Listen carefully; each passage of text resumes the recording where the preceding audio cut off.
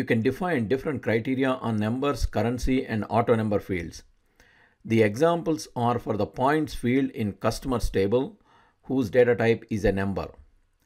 To display records that exactly match a value, enter that value in the criteria row of the points field.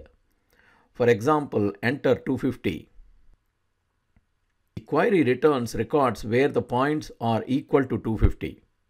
Enter not 1000. The query returns records where the points are not equal to 1000. Enter less than 1000. The query returns records where the points are less than 1000. Enter greater than or equal to 1000. The query returns records where the points are greater than or equal to 1000. To match one of two values, you can use OR in the criteria string or enter the values in the criteria row and the OR row.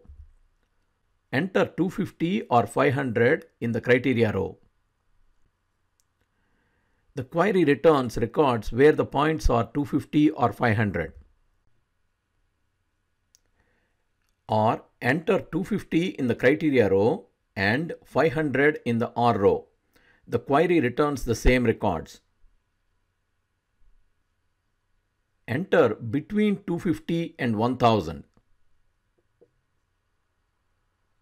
The query returns records where the points are between 250 and 1000. Enter less than 250 or greater than 500. The query returns records where points are not between 250 and 500.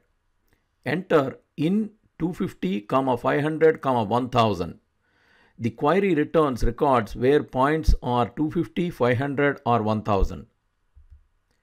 Enter like asterisk 5. The query returns records where points end with 5. If you like this video, please subscribe to our channel.